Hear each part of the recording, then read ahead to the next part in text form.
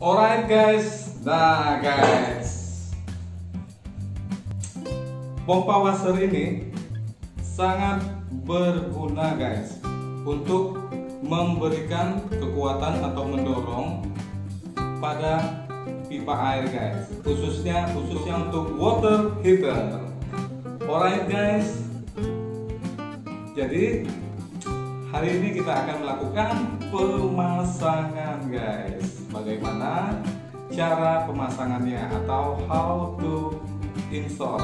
Alright guys. Jadi pertama-tama guys kita harus lihat dulu posisi mana yang harus kita pasang. Nah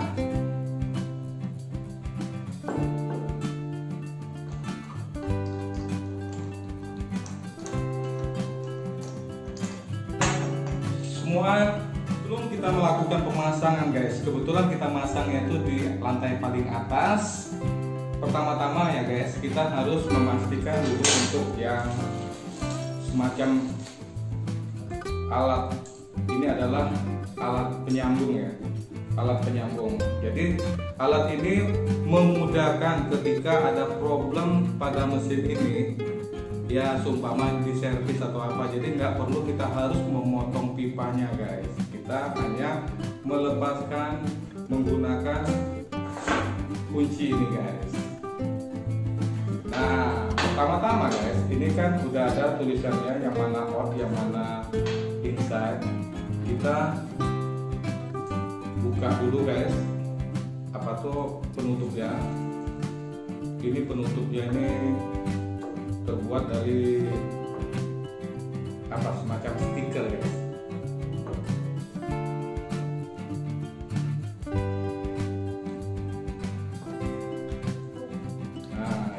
input ada tulisan input di sini. Oke, udah. Sebenarnya kalau kita nggak menggunakan ini bisa juga langsung aja menggunakan pipa 3 per 4 Nah, namun ketika ada masalah kita sayangkan mubazir kan membuang uang lagi untuk memotongnya guys. Nah, sekarang kita pastikan dulu ini adalah karet hitam untuk menahan kebocoran air guys. Kita tempelkan di sini karetnya. Ini dapat dilihat langsung di sini. Kemudian kita langsung seperti biasa guys kalau ini dia nggak perlu isolasi guys. Tapi kalaupun memang kita harus menggunakan isolasi juga boleh juga. Karena apa? Karena kalau isolasi itu dia akan apa ya menghindari lecet guys. Ini isolasinya guys. Wow. Susah. Nggak kelihatan guys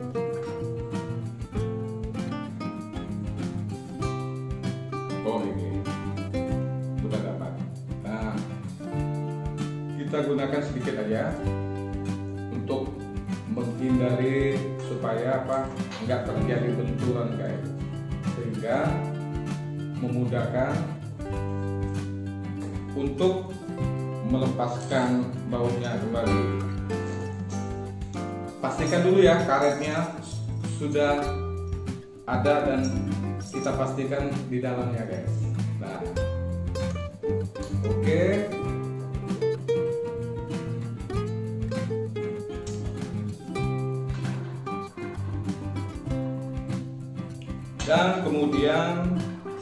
Satunya lagi yang outlet. Outlet ini adalah air yang keluar guys. Kita buka dulu.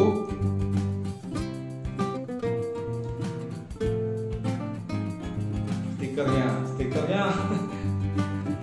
Ini banget loh guys apa? Uh, nempel banget ah stikernya sudah lepas kita pastikan seperti yang tadi guys bahwa karet hitam penahan untuk sambungan atau anti kebocoran kita pasang. Namun di sini kita kasih dulu isolate atau isolasi coba ya guys. Nah sekarang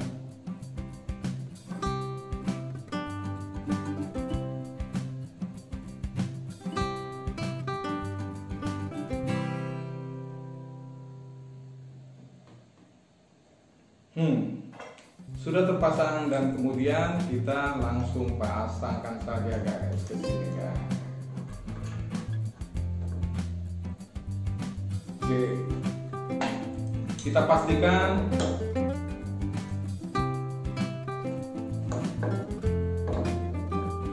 kencang guys, tapi jangan terlalu kencang banget karena dia sudah ada karetnya. Sampai begini saja guys.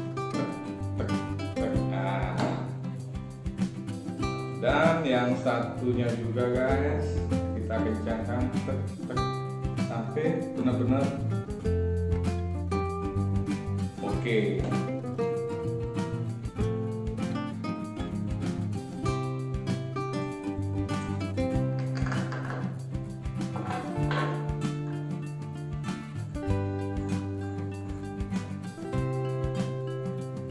Oke, kita harus memastikan juga kita pasang memang harus menggunakan pisau tip guys. Karena apa?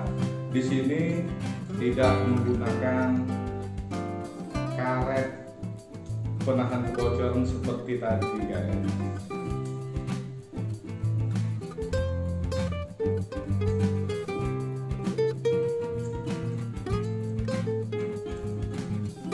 Memang agak banyak ya guys karena untuk memudahkan sudah cukup. Dan kita masukkan guys.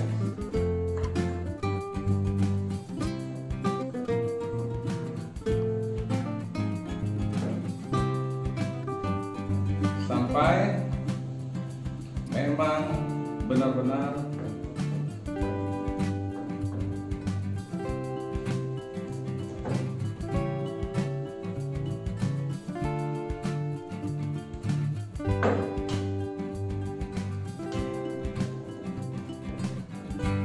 Guys. Dan yang satunya lagi guys.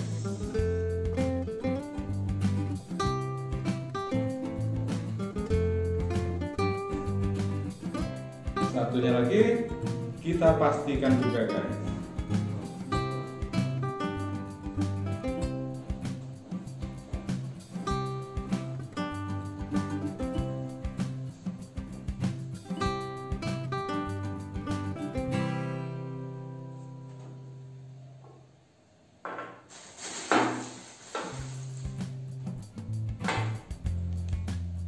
kita kita pasang isol 3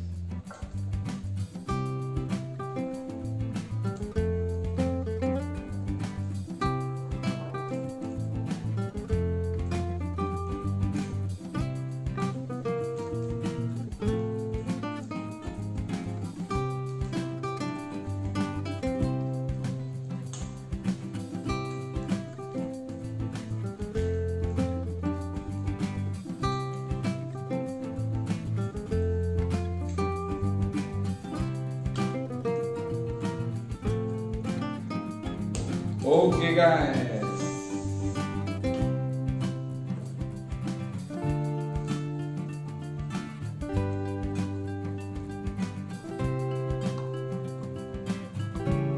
Wow, mantap kan guys?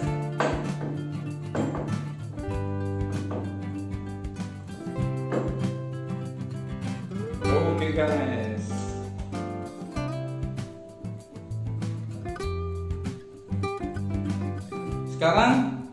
Sudah selesai guys. Kita akan memasang ke lantai atas guys. Alright guys. Pastikan kita selalu membawa ini. Ini adalah lem guys. Dan ini juga socketnya. Alright guys.